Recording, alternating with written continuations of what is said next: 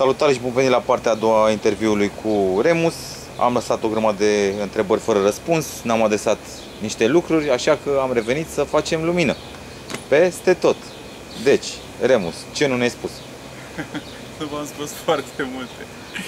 Ce am văzut că se cere antrenament, nutriție, Supliment.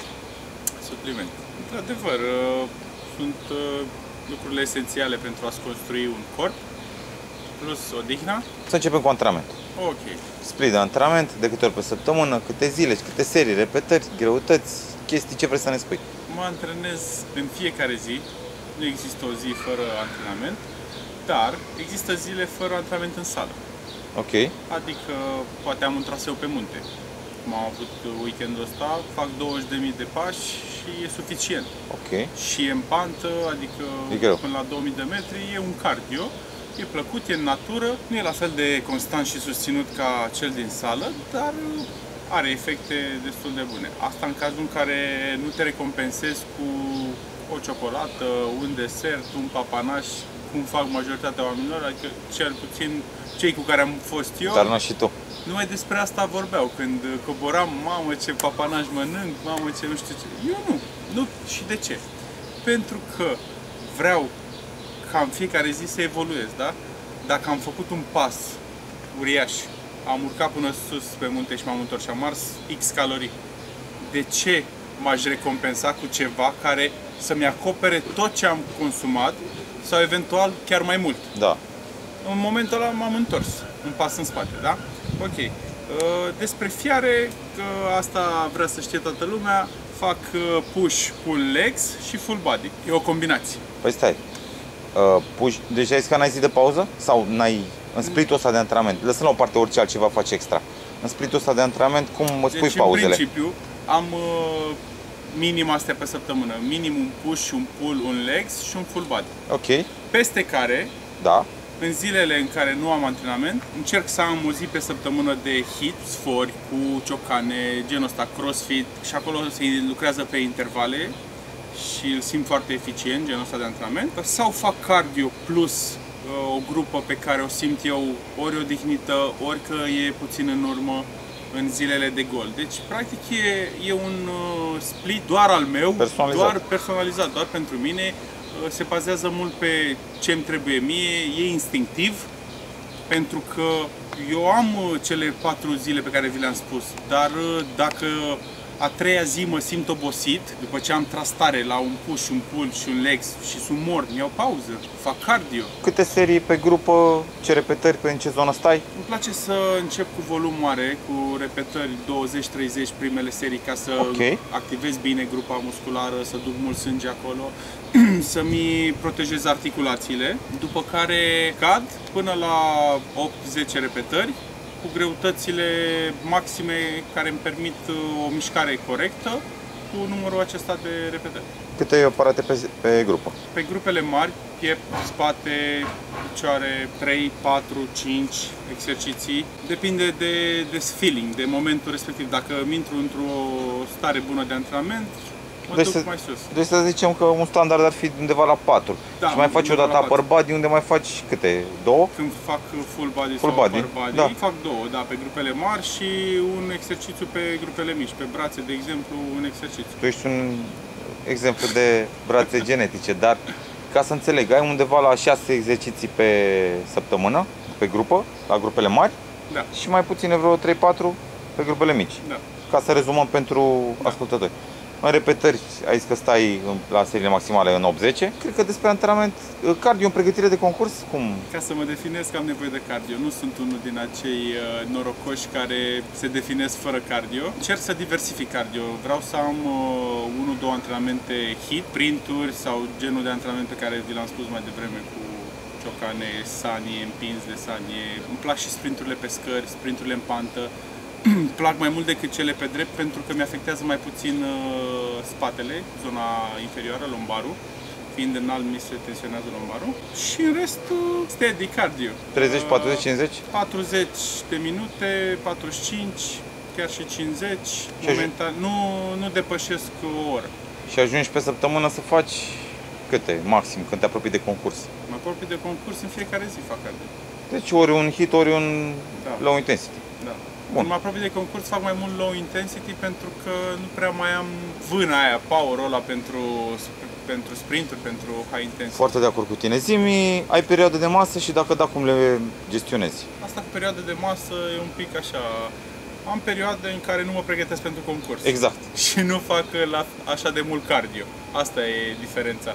Dar în rest, uh, mâncarea nu se schimbă foarte mult, uh, antrenamentul nu se schimbă mai deloc, poate doar nu mai e așa intens, e mai low. Gen, uh, în perioada de concurs dau 100%, sunt acolo poate și mai mult de 100%, pentru că am un cel, am un standard în cap pe care vreau să-l, uh, să-l ating. Sunt campion național și dacă mă îmi propun să merg la concurs, mă duc cu gândul să câștig și atunci uh, mă motivează altfel.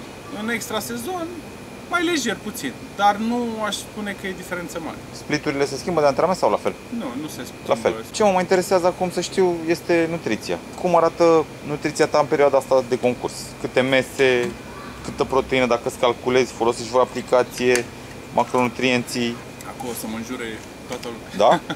Ia zi, nu-ți calculezi. Da, nu-mi calculez. Nu-mi calculez, dar de ce nu-mi calculez?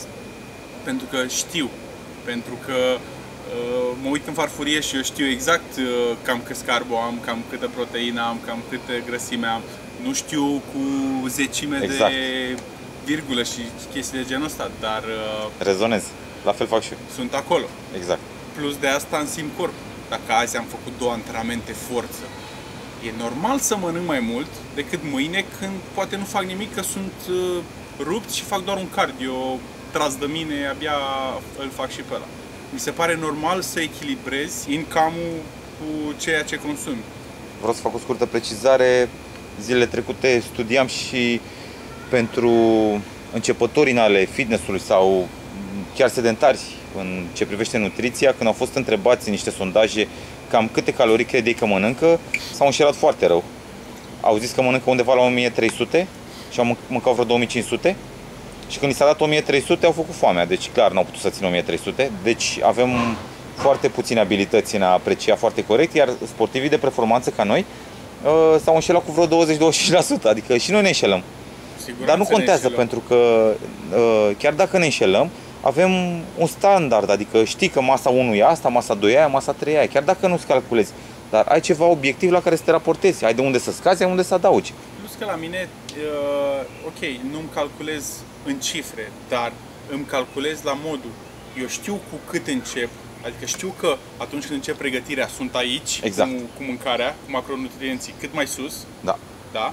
De ce? Pentru, pentru că a avea de unde să scad. da. Că mulți am intrat pe dietă. Cât mănânci? 1500 de calorii direct. Bun, se adaptează corpul la 1500 de calorii și după aia ce mai faci? Foarte interesantă abordarea.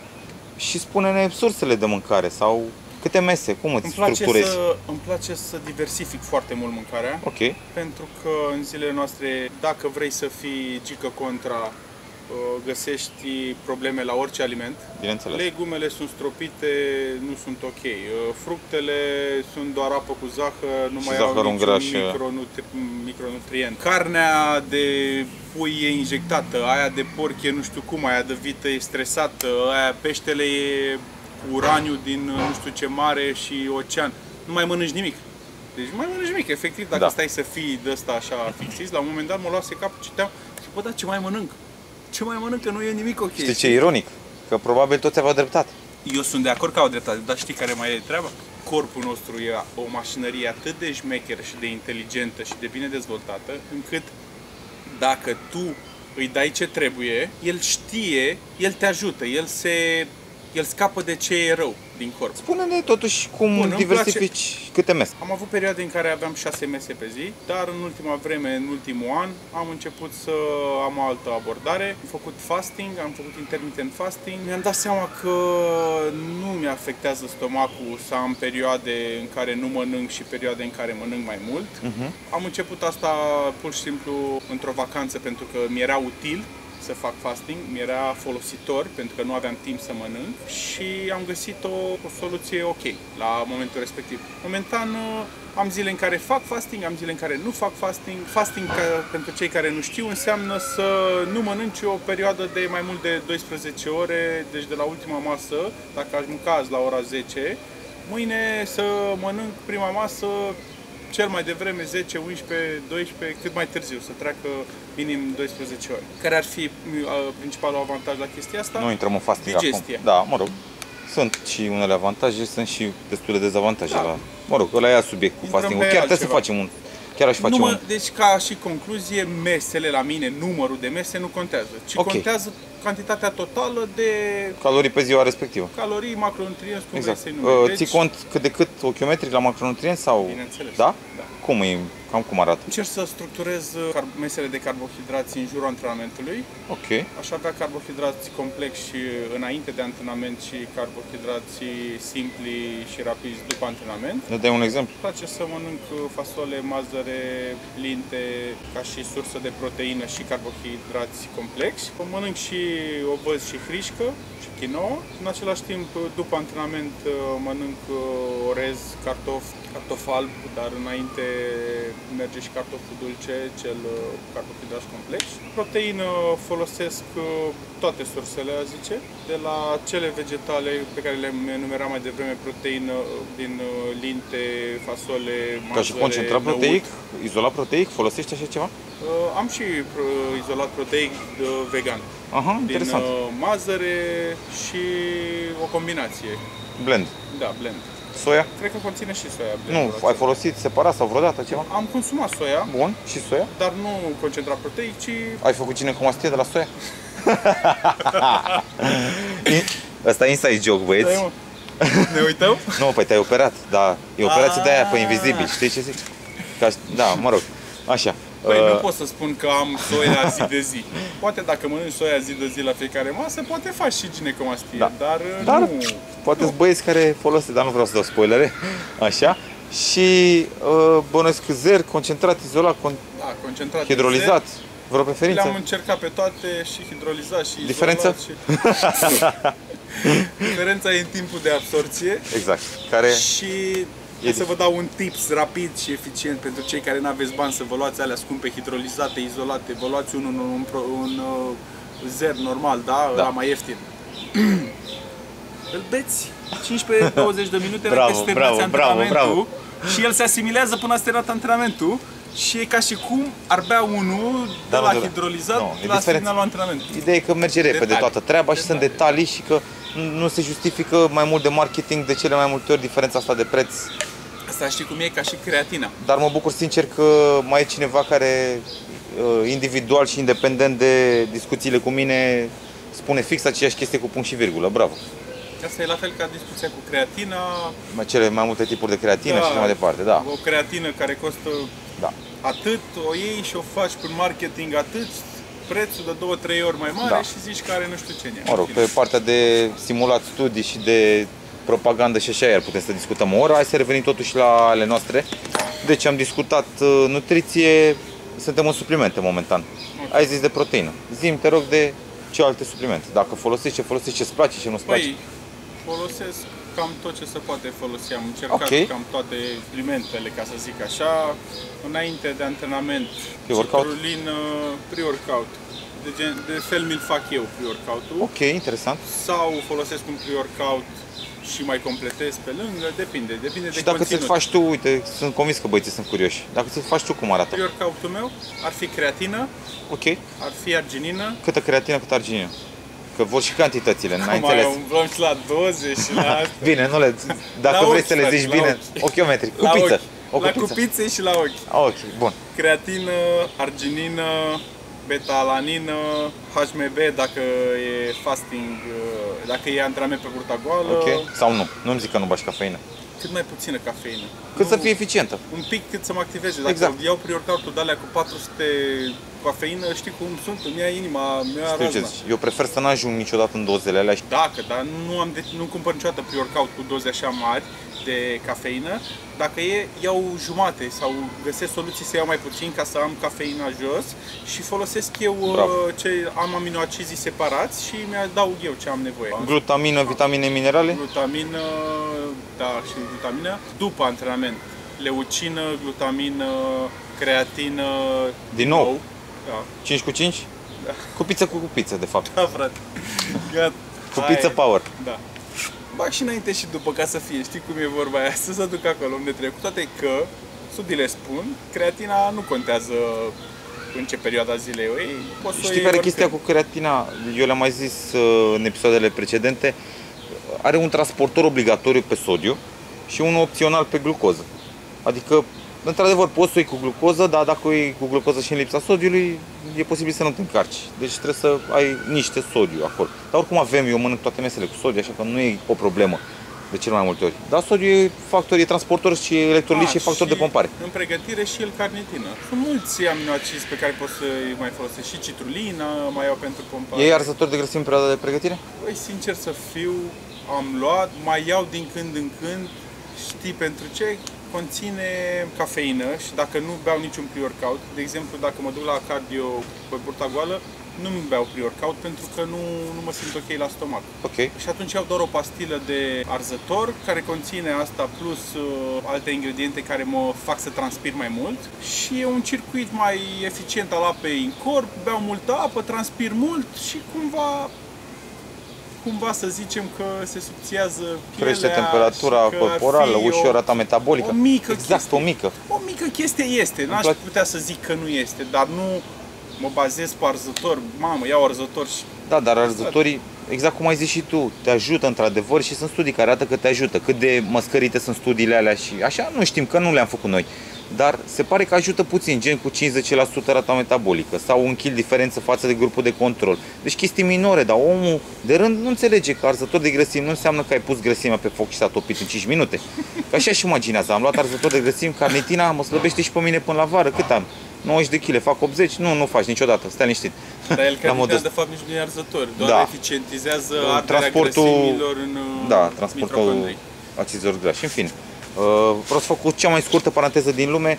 La carnitină lichidă am întâlnit patru cazuri zilele astea unde au luat el carnitină lichidă, deci lichidă, atenție, nu pastile, că am luat eu pastile. Așa, miros de pește. Au, miroseau îngrozitor la modul nu puteai să stai în aceeași cameră cu persoana respectivă. Patru cazuri, toate de la... Ei miroseau sau? Ei miroseau de la el carnitină lichidă. La unul dintre cazuri, simptome de insolație. Am zis că e insolație, că a a fost căldură gravă zilele astea, dar nu era insolație. Deci durere de burtă, diaree, durere de cap. Deci, ca o mică paranteză Să că a nu venit știi vorba de, ce- creati- de carnitină. E posibil să nu fi fost ținut în ce- condiții, pentru că s-a mai întâmplat la alte persoane să pățească aceeași chestie de la suplimente formă lichidă. E posibil, dar dacă cauți pe internet, o să găsești exact simptomele astea de la carnitină. Doar am făcut o scurtă paranteză ca să fiți în gardă, dacă pățiți vreodată așa ceva, să știți că e de la el carnitină lichidă. Și ca să continuăm paranteza, dacă Exact. iei beta-alanină sau pre-workout care conține beta-alanină și te mănâncă pielea Da. așa, e ceva normal. Da. Te apucă așa o mâncărime, parcă te ia... Mai ales că sunt pre-workout care bagă doze mari de beta-alanină. Că e ieftină, cafeina e ieftină și se bagă doze mari. 300, 400, 3 grame, Simți 4 că grame. turbezi, te ești Hulk, Exact. te transformi. Da. Nu întotdeauna e bine să, să, che- să simți chestia asta. E bine să dozezi energia în funcție de cât ai nevoie, dar nu e bine să ai prea multă. Nu e bine să înceapă inima să bată prea Exact. repede, să ai palpitații sau Exact. ceva de genul ăsta. Și am găsit un supliment cu o cafeină care mai, com- mai e combinată cu teanină și care se pare că te-ar ajuta, dar nu ți-ar da palpitațiile și vreau să testez. Chiar vreau să testez combinația asta. Bun, să revenim la ce, ne, ce vă interesează de fapt. Nu antrenament și suplimente și chestii de-astea. Știți ce vă interesează? Treaba asta cu naturalețea, de a discuta pe acolo, prin secțiunea de comentarii. Unii băieți l-au certat, alții l-au felicitat, tot felul de discuții și îmi place să, să încurajez discuții, doar că în limita decenței și limbajului uh, civilizat. Dar, în mare parte, chestia asta s-a întâmplat, așa că am o comunitate foarte interesantă și majoritatea băieților te apreciază. A fost un feedback foarte mișto și vreau să vă mulțumesc din suflet. Mulți au venit și au simțit nevoia să-mi scrie personal pe contul de Instagram și de YouTube. Bravo, felicitări, eu chiar cred, uh, ești exemplul meu și eu sunt înalt, vreau să fiu ca tine și eu am brațele mari. oamenii au rezonat cu mine, vă mulțumesc din suflet și ce să zic, data viitoare când vă uitați la vlog, poate chiar la ăsta și faceți cardio, zâmbiți. Uh, bun, hai să revenim. Treaba cu naturalețea. De unde știm noi, Remus, că ești natural? Asta e întrebarea aia corectă. De unde știm? Eu am venit cu feedback-ul meu și am zis calitatea pielii, rotunjimea, forma mușchilor, experiența mea de până acum, restul băieților pe care știu natural, comparația ta cu ei, raportul de înălțime-greutate. Mulți băieți n-au înțeles că tu nu ești acum la 6% sau la 8%, tu ai 97 Nu, de am kg, 10% ești pe probabil 10-11 în zona aia și pe scenă la un 6% sau 7 sau În cât o cele să mai ai, fericite în cazuri. cele mai fericite cazuri o să ai probabil raportul ăla de înălțime-greutate de probabil 91-92 în zona aia. Vreau să vă mai spun ceva, raportul de 1,91 cu 91 de kg este mai puțin decât 1,65 cu 65 de kg. Exact. Deci Remus ar fi undeva, dacă ar fi să raportăm la înălțimea mea, 1,66, probabil 60 de kg. Skinny. În direcția aia, așa că băieți, dacă voi credeți că faultează regula aia pe care v-am expus-o în episoadele precedente, vă înșelați amarnic. Mulți au înțeles că tu ai, unu, ai 1,91 cu 97 de kg în 6%, dar tu n-ai 6% acum. Ce, Doar bă, că asta trebuie cu să fii aproximarea, monstru ca să ai așa ceva. doar că lumea nu înțelege că aproximarea țesutului adipos e la fel de greu de realizat uh, obiectiv cum e și cu caloriile. Am văzut chestia asta la Joe Rogan, la, am văzut asta la cele mai înalte case, am greșit și eu de-a lungul timpului. Pentru că arăți într-un fel și idealizezi, zici că ești pe la 12, cam E diferent. Așa zic bărbații în Fii general. atent, Sunt băieți care au abdomen la 12% exact. și eu la 12% aproape că nu se vede abdomen. La mine, ca să se vadă abdomenul bine, trebuie să mă duc sub 10%. Adică acum îmi place cum se vede și e... Da, am o Cred că explicație sunt pentru undeva. chestia asta, dar altă dată când ne lungim iarăși. Bun, să revenim. Deci, multă lume nu știe să aproximeze chestia asta. Absolut deloc, când vine vorba de, de țesut adipos. Și începătorii novici greșesc așa, mai ales ăștia care pre- se pregătesc pe natural. Să zicem, ai 80 de kg, nu știu, hai să zicem, ai 90 de kg. Și zici, sigur o să fiu în formă pe la, nu știu, un 85. Prima dată idealizezi. Și am văzut cazuri, am făcut și prin screen am pe telefon chestii de-astea, unde era cineva la vreo 110 și a concurat la, nu știu, 75 și tot nu era definit. Tot nu era definit. Deci crede-mă. Și vă arăt canale de YouTube care au sute de mii de subscriberi care la fel, oameni naturali care ziceau am făcut bulking de la dirty bulking, m-am Exact, îngrășat, așa ceva. am idealizat, am zis că am mult mai puțin decât am, am calculat, am zis că o să fiu pe la, nu știu, 80 de kg și s-a dus cu 65 și tot nu era definit de concurs. Înțelegi? Eu niciodată nu scad atât de Bun, mult. pentru- am făcut, nici n-ar trebui. Deci tu faci oricum destul de bine ceea ce faci, adică foarte bine faci. Bun, am trecut de chestia asta de țesuturi adipoase și așa mai departe. Să revenim la de unde știm. Deci, raportul înălțime-greutate și ce înseamnă naturalețea și așa, nu-l faultezi. Deci, Mă așa. încadrez. În Da, regula te asta încadrezi mă acolo. încadrez. Aspectul Calitatea îl ai. pielei, mă încadrez. Da. Fluctuații de-a lungul timpului n-ai avut, ai crescut. Constanță. Ai crescut Dacă ne uităm constant, la poze, da. eu în fiecare an am adăugat 1, maxim 2 kg. Tenție de apă, se vede că n-ai. Iarăși, ginecomastie, acne, chestii de astea care te-ar da de gol destul de repede, nu ai. Venele alea dubioase de care am mai vorbit mai de mult și pe care ar trebui și pe care pe doape le ai și când uh, n-ar trebui să le ai, nici descărcat, Când- de exemplu. Și când faci așa un pic aici, Da. deja ți s-a pompat.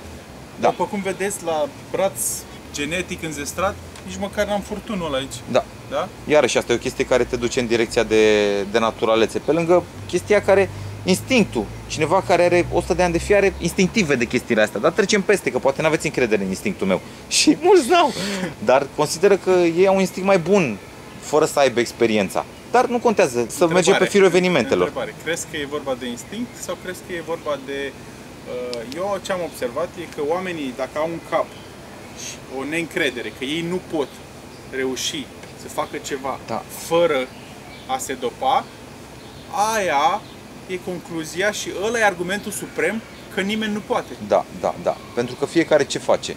Fiecare raportează lumea din jur la el. El se pune centru, o chestie egocentrică. Te pui tu centru universului și îi învârți pe toți în jurul tău. Și mai mult sau mai puțin toți facem chestia asta. Doar că tu consideri că e standardul la care alții trebuie să, se, să facă referință. Adică dacă tu ai 1,75 cu 80 de kg, cine are 83 e prea mare, cine are, nu știu, 60 e prea mic. Deci tu raportezi totul la tine și dacă tu nu poți o performanță, tu nu poți să accepti, bă, nu, bă, nu, poate nu sunt destul de înzestrat genetic, poate sunt oameni mult mai buni decât mine, mult Poate mai n-am muncit înzestrați. suficient încă.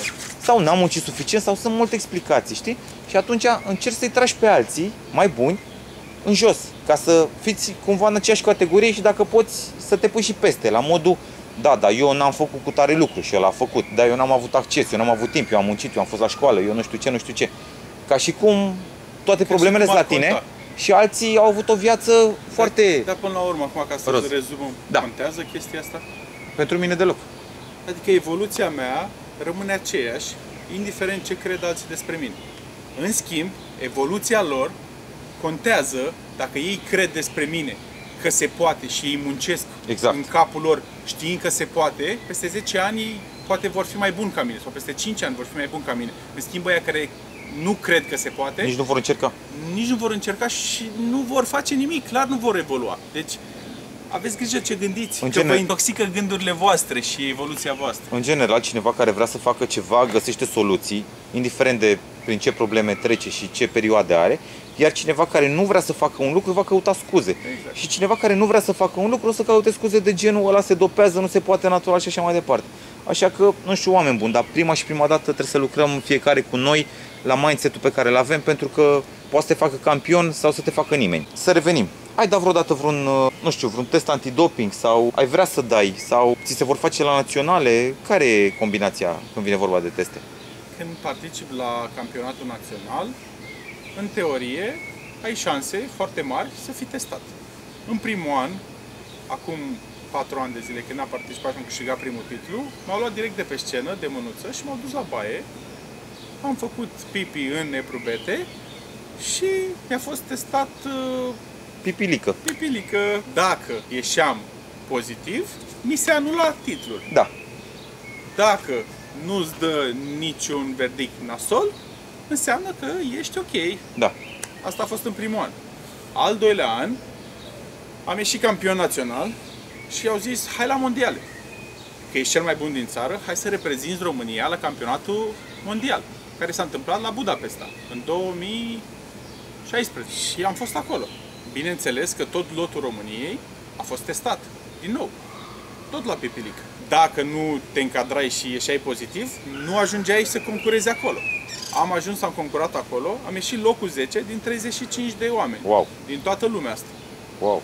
Nu e ușor deloc. Nu? Eu am fost mândru cu rezultatul meu, dar uh, am continuat lupta. Următorul an am câștigat iar campionatul național, asta m-a calificat iar pentru europene sau mondiale. Și am zis, băi, la mondiale am fost, hai să mergi la europene. Da. Și am fost la Santa Susana în primăvara 2000... 17. Nu, 2018. Anul 2018? trecut am fost. Ok.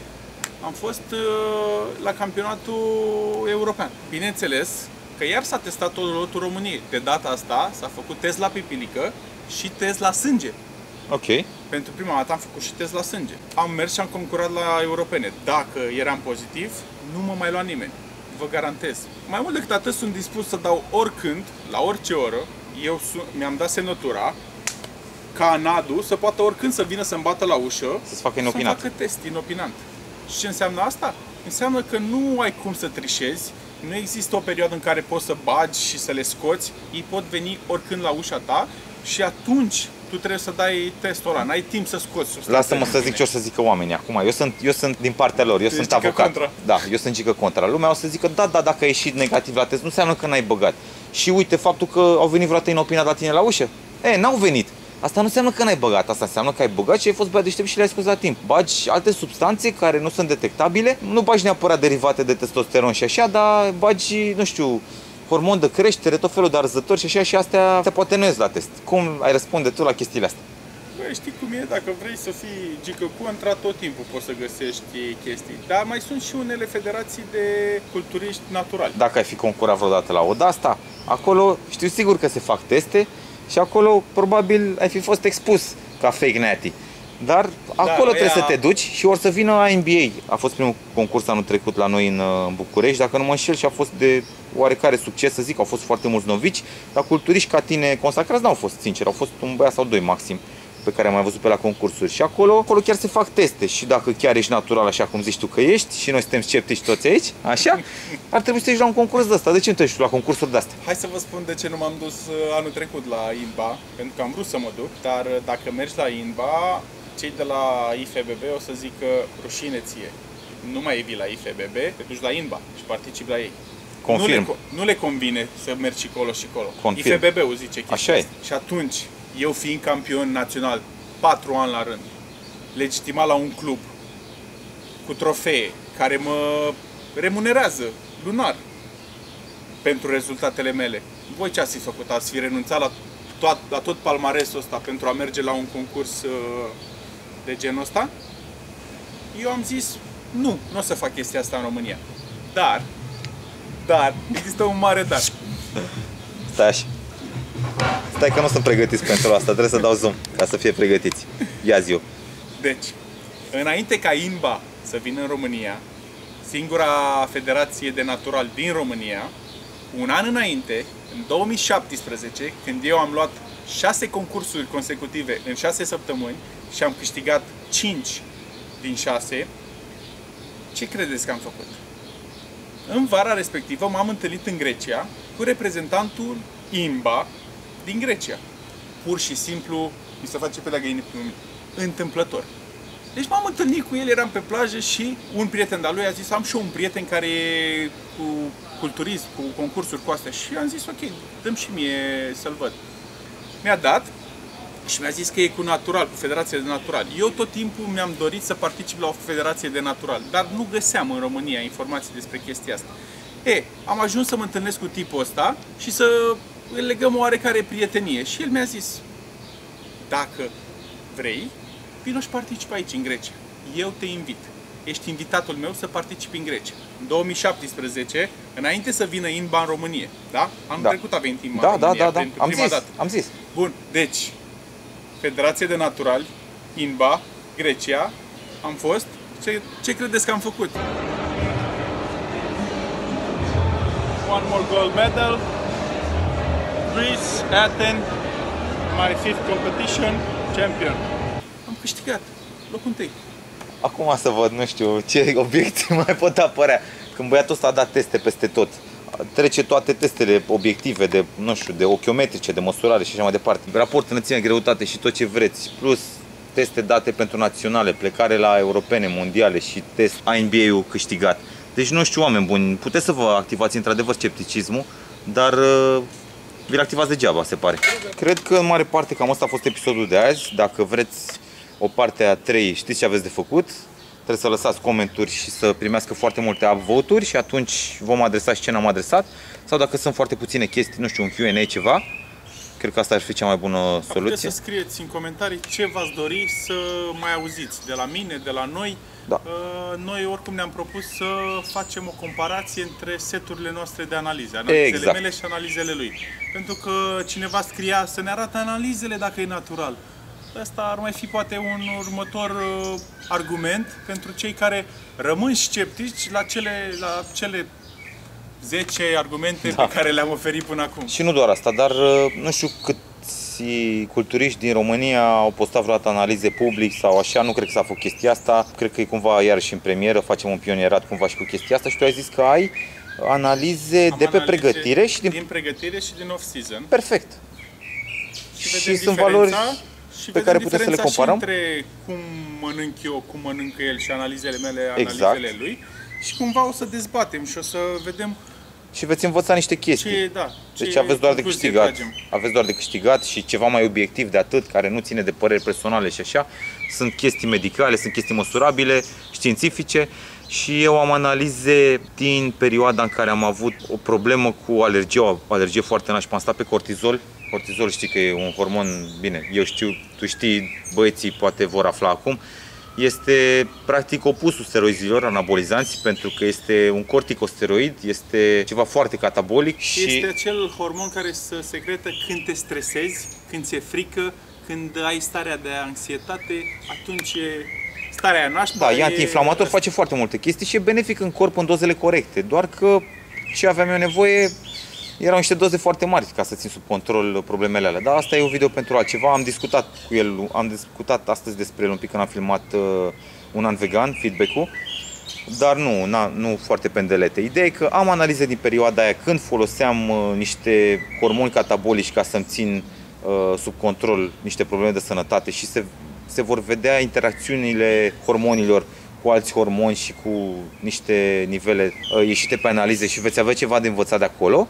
Doi la mână, am niște analize la aproape două luni, da, ceva de genul. Aproape două luni după ce am terminat tratament de steroizi la ultimul concurs, așa, după ce am terminat și PCT-ul post-cycle therapy, revenirea, Adică să vedeți cum ți-ai arată revenit. să vedeți cum arată hormonii pe dietă omnivoră și imediat după concurs. Și am analize făcute acum o lună, da, acum o lună, vegan de un an și două luni și pe pauză de atunci, de când a terminat din 2017 decembrie. Deci faceți un calcul un an și șase luni. Așa că veți avea la comparație analizele mele din perioadele astea, analizele lui Remus, pregătire de concurs, perioada de masă.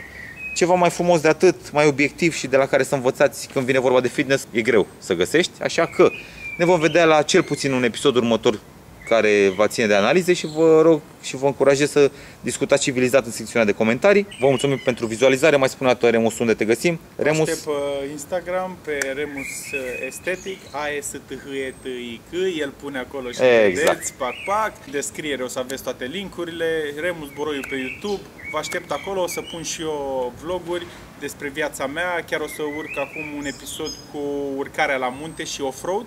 Vedeți ce am mâncat pe drum, cum ne-am distrat, cum ne-am bucurat. Sportul nu înseamnă neapărat uh, plictiseală, mulți nu se regăsesc în sală, poți să-ți găsești o altă activitate, așa că încurajez la mișcare. Vă pup. și mă arată o dată brațele până să pleci. Brațele? Mă arată, nu, de jos, de acolo, ca în Game Băi, of știi Thrones. Care, și care e problema? Că atunci când arăt brațele, vine câte unul și zice, eu uite-l pe ăsta, e narcisist. Păi nu, dar suferă te-am de- pus eu. Eu te-am rugat. A, mai rugat tu. Da. Așa, pe, pe, pe exterior Pe, sau? pe rece, la rece, de unde vrei tu. Rece. Haideți să vă arăt un detaliu aici. Aici un tendon care face figuri, ia uite Wow. Wow, puțin zis. Da, eu n-am văzut așa ceva, sincer. Un dublu biceps de plecare, de subscribe. Dați subscribe. Subscribe la 52.